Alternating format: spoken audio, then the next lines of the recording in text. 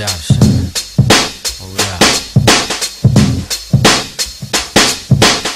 what up, son? I heard they got you on the run for a body. Now it's time to stash the guns. They probably got the phones tapped, so I won't speak long. Give me a hot second, and I'ma put you on. It's all messed up, somebody snitching on the crew. And word is on the street is they got pictures of you.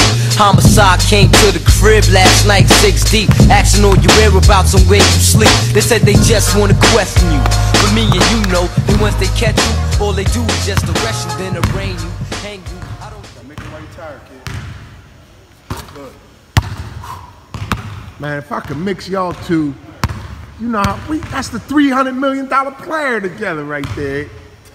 Oh, that's the shootingest nigga I ever seen, and you got all the defense and the rebound. That's three hundred million these days.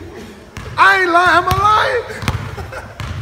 It says 300 million. That's three hundred million. Mix y'all two together.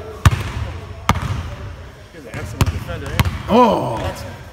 God damn. he think his O game nice. You know, I've been, That's why we here. yeah.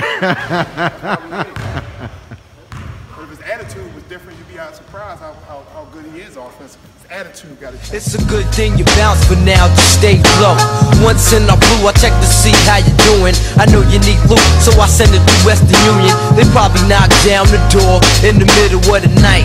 Sometimes around four, hoping to find who they looking for, but they won't succeed. All they gonna find is mad empty bags of weed. But worse, son, you got the projects hotter than hell. Harder for brothers to get they dug on, but oh well, son, they know too much. Even the hood rat chicks. Oh, you heard who did what? No, I don't know this shit, so stop asking. And I know I'm not going crazy.